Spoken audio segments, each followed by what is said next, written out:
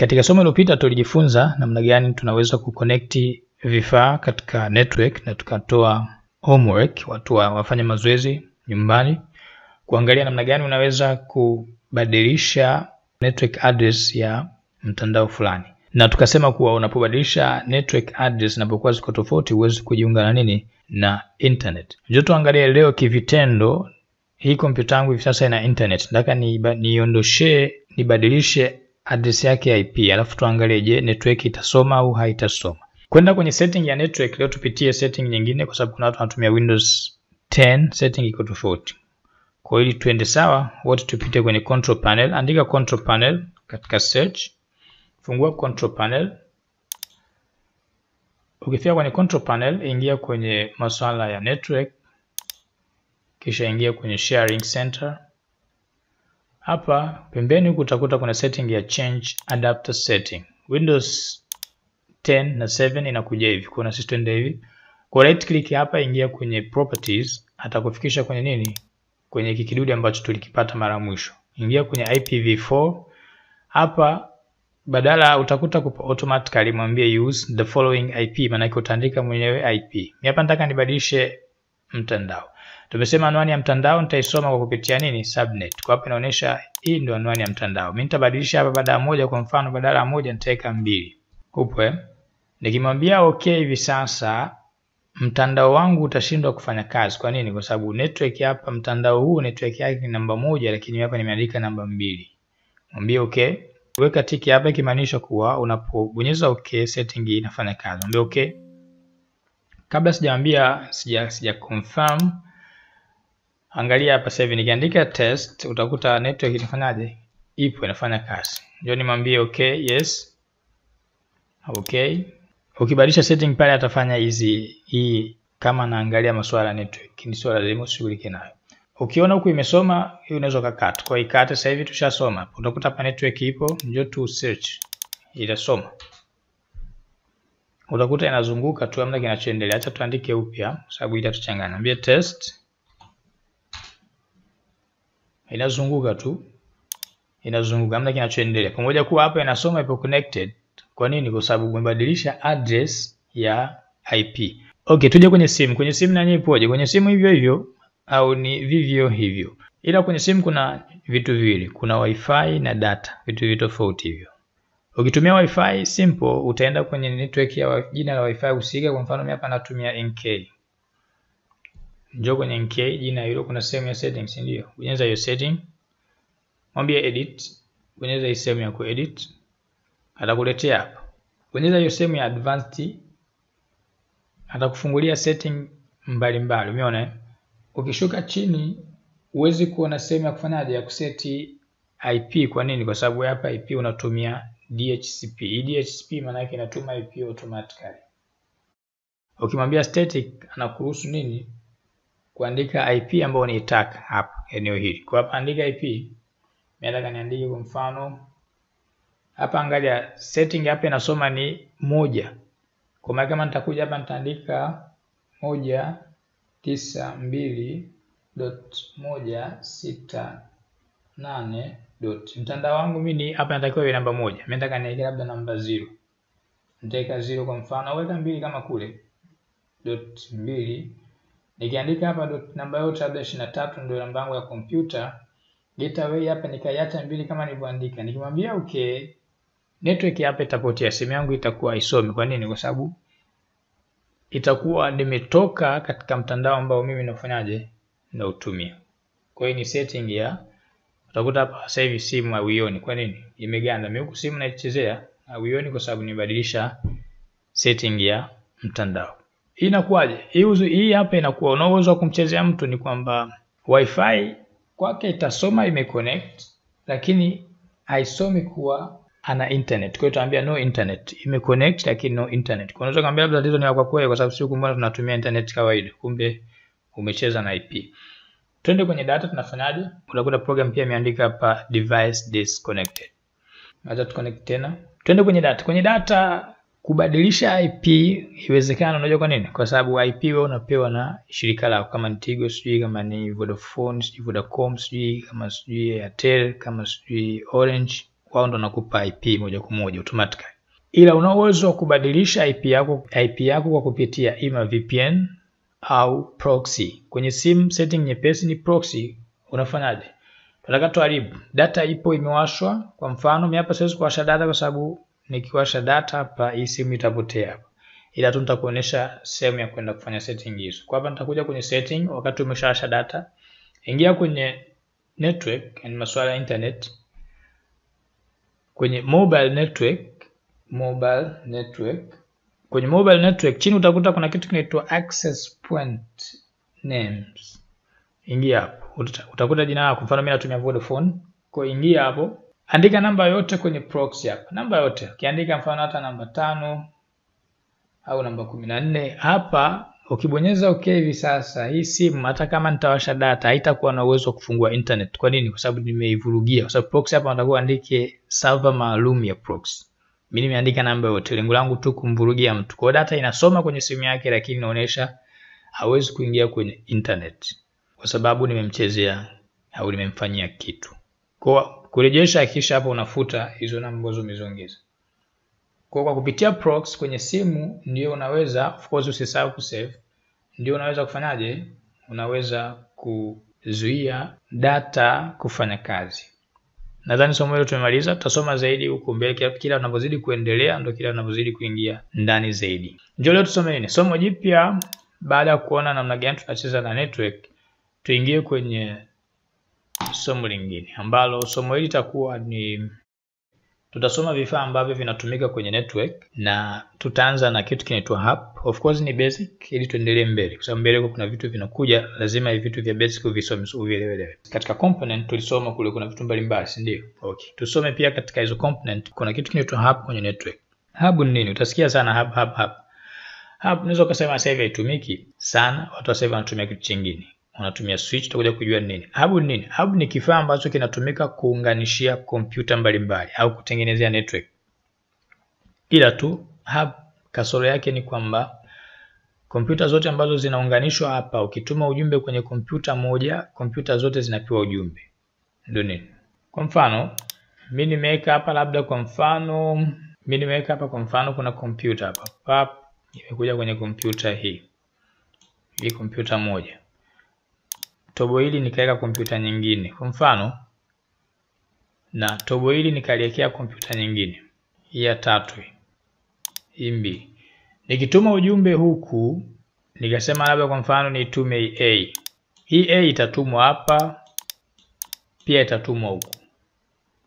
Kwa nini? Kwa sababu hub haitofautishi kati ya vifaa ambavyo vimeunganishwa kwenye kompyuta. Yeye kinacho kitu ambacho hub inazingatia ni kuna watu wamejiunga, kwa maana wale watu wote yeye anashare data pamoja nao, hakuna usiri, maana privacy hakuna kwenye hub. Kwa ajili hiyo wakabadilisha, wakaja na kitu chingine kipya kinaitwa switch. Switch ni nini? Switch ni kama hub, ina connect vifaa mbalimbali, ila tu iko smart, yani maana yake inajua kompyuta ambazo zimeunganishwa, namjua huyu Ali, huyu Juma, huyu mtu Fudenge. Kwa maana yake data ikitumwa iende kwa Juma mtu Fudenge atumiwi kwa sababu anajulikana mtu Fudenge hausiki kwenye data.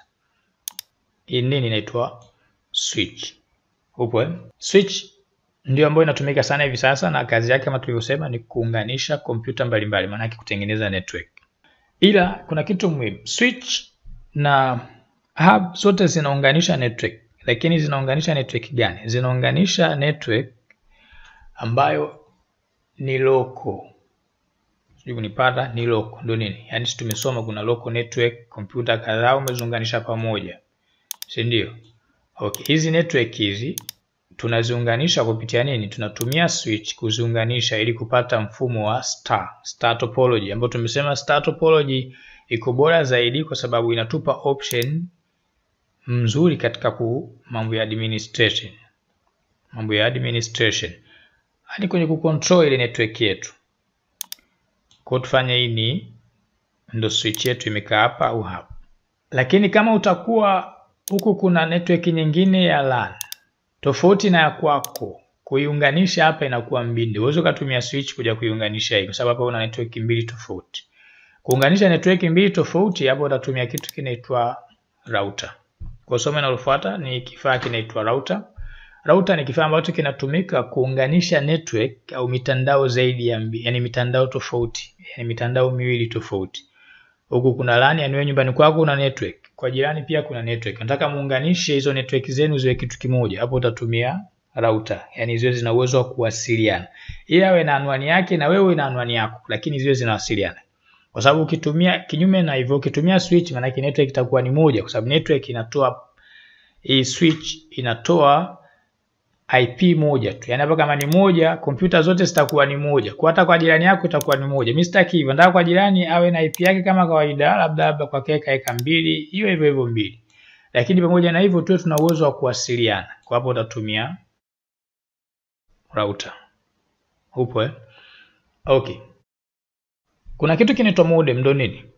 Pamoja kuwa umeunganisha hizo network zote bado hujafika kwenye mtandao wa kimataifa, yani hujafika kwenye internet. Ili ufike kwenye internet utahitaji kitu kinaitwa modem. Kwa modem kazi yake ni kuunganisha wewe na internet.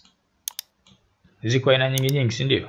Ya, kuna hizo za simu au hizi za kawaida, hizi za computer of course, ila za kawaida na kuna hizi zingine kubwa.